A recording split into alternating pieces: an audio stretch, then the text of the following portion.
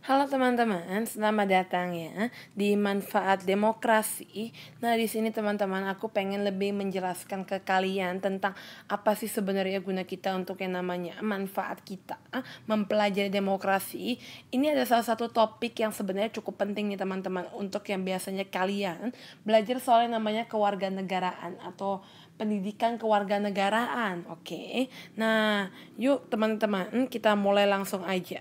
Apa aja ya manfaat dari demokrasi itu sendiri?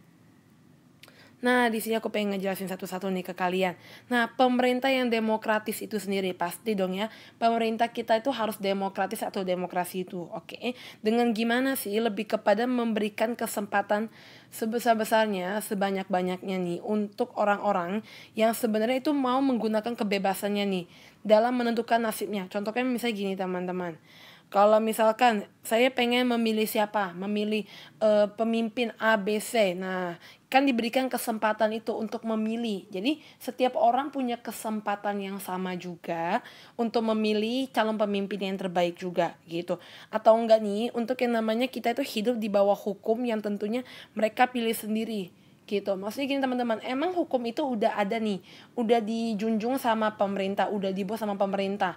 Tapi kita punya hak atau kita itu punya yang namanya kesempatan nih untuk yang namanya membela diri kita apabila emang kita itu benar.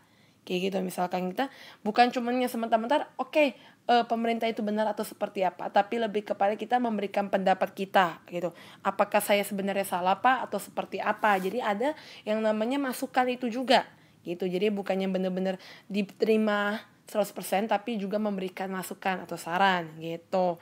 Nah, pemerintah yang demokrasi juga sebenarnya bisa yang namanya untuk menjaga kesetaraan nih. Kesetaraannya apa maksudnya? Lebih kepada kesetaraan warga negaranya itu sendiri seperti apa?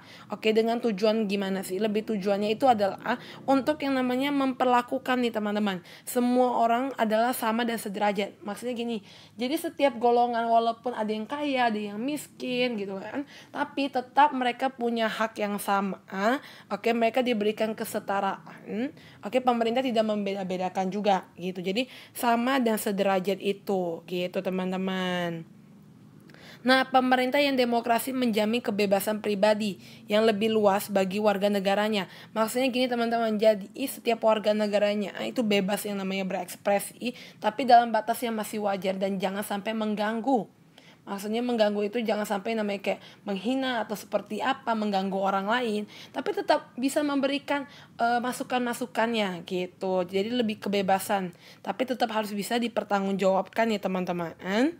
Nah lanjut nih pemerintahan yang demokrasi dapat mencegah tumbuhnya nih pemerintahan yang oleh kaum otokrat itu yang kejam dan licik. Jadi maksudnya gini teman-teman, dengan adanya pemerintahan demokrasi itu sendiri, jadi akan mengurangi nih uh, orang-orang hebat atau orang-orang petinggi-petinggi sana yang ternyata tuh kejam dan licik, yang uh, seenaknya mereka dengan karyawan atau seenaknya dengan orang-orang gitu. Mereka ingin menghindari itu atau meminimalisir, minimal ya teman-teman, gitu. Nah lanjut nih, pemerintahan yang demokrasi dapat menjamin nih, harus bisa menjamin nih warga negaranya dengan sejumlah hak asasi manusia atau biasa disebut HAM yang sebenarnya tidak diberikan dan tidak dapat diberikan oleh sistem yang tidak demokratis. Jadi maksudnya adalah gini teman-teman, pemerintah harus bisa nih yakin kan bahwa dia bisa menjamin nih warga negara yang mendapatkan hak-hak mereka sebagai seorang manusia itu sendiri gitu. Nah lanjut ya teman-teman, ini ada namanya eh, pemerintahan yang demokrasi yang sebenarnya cenderung nih lebih makmur nih teman-teman daripada negara-negaranya itu sendiri yang dengan pemerintahan yang tidak demokratis. Jadi diharapkan bahwa dengan yang pemerintahan yang demokrasi itu bisa membuat rakyatnya itu, negaranya itu lebih makmur gitu teman-teman. Nah, pemerintahan demokrasi juga itu membantu nih rakyat ya untuk yang namanya eh, melindungi nih kepentingan dasarnya itu sendiri. Seperti apa? Gitu. Dan pemerintahan yang demokrasi itu selalu yang namanya mengandalkan debat yang terbuka, persuasi dan kompromi. Jadi maksudnya semua orang bisa melihat secara terbuka, oke, okay? terus juga uh, maksudnya mengajak persuasi itu sendiri dan juga kompromi bisa diatur lebih baik seperti apa gitu teman-teman. Lanjut ya, negara-negara demokrasi yang sebagai perwakilan modern tidak dapat berperang satu sama lain. Jadi maksudnya bukan jadi musuh mereka malah mereka justru harus saling saling membantu mencapai tujuan-tujuan negara yang lebih baik lagi, lebih maju lagi gitu. Dan terus dapat memberikan kesempatan yang sebesar-besarnya nih untuk yang namanya menjalankan oke okay, tanggung jawab moral itu sendiri seperti apa sih teman-teman? Gitu. Terus juga nih mampu yang namanya membantu nih untuk perkembangan manusia buat lebih mengekspresikan dirinya lagi menjadi berkembang lebih baik dan lebih baik lagi. Gitu teman-teman. Nah lanjut ada pemerintahan yang demokrasi yang buat namanya membantu perkembangan kader persamaan politik teman-teman.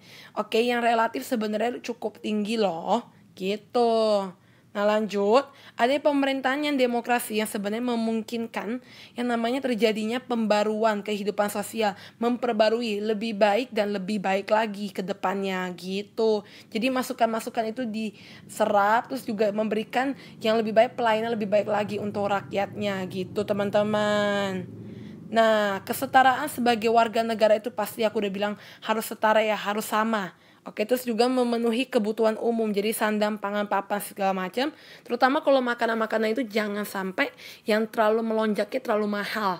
Gitu, tetap harus stabil.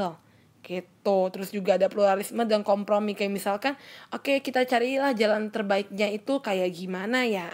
Gitu, teman-teman. Nah, teman-teman, terima kasih banyak ya karena kalian telah mendengarkan presentasi saya hari ini.